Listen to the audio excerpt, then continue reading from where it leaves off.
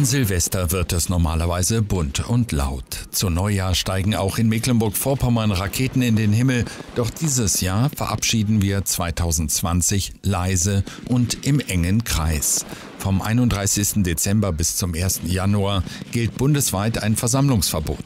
Zudem ist der Verkauf von Feuerwerkskörpern vor Silvester untersagt. Wir haben Chris Müller von Ritschrekowski, den Ordnungssenator der Hanse- und Universitätsstadt Rostock, zum Böllerverbot befragt. Also wir ringen ja schon die ganze Zeit mit uns, äh, wie wir den 31.12. Äh, bewältigen können. Das hat nicht nur was mit Corona zu tun, sondern insgesamt ja eine veränderte Wahrnehmung. Macht es eigentlich noch Sinn, dass man äh, für viele hundert Millionen Euro Silvesterfeuerwerke in die Luft jagt mit all den damit verbundenen Folgen? Monatelang wurden in der Rostocker Stadtverwaltung schon einige Bereiche geprüft, wie der Stadthafen, aber auch der Dünenbereich in Warnemünde. Besonders nach Silvester sind dort die Spuren der letzten Nacht zu sehen. Wir haben uns umgehört, wie die Bürger Rostocks zu diesem Böllerverbot stehen. Finde ich recht gut, da ich auch Teil der Grünen bin.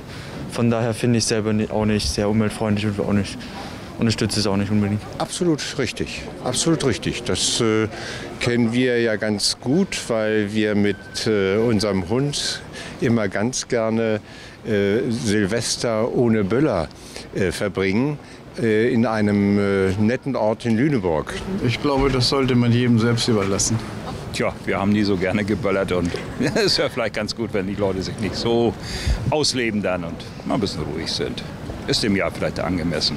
Ja, das ist, äh, wäre schon eine Einschränkung, denke ich mal, für viele Jugendliche. Aber wenn das jetzt ein Jahr nicht ist, dann ist es auch nicht schlimm. Für die Umwelt wäre es nicht schlecht, weil äh, es ist zu viel schon in der Luft drin, das muss man nicht noch fördern.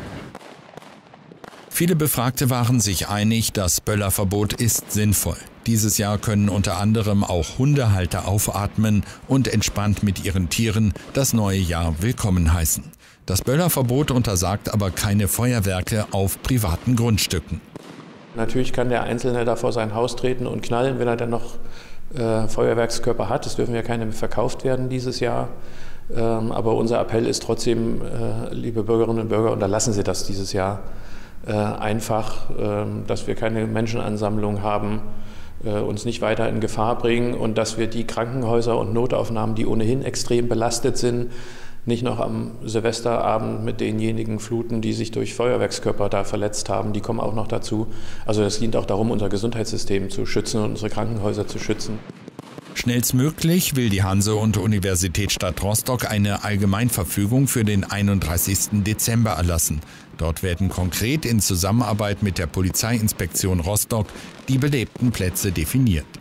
So gut es möglich ist, sollen zentrale Plätze kontrolliert werden. Die Bürger und Bürgerinnen sollen aber selbst Verantwortung für ihr Handeln übernehmen. Der Appell geht an jeden Einzelnen im Land.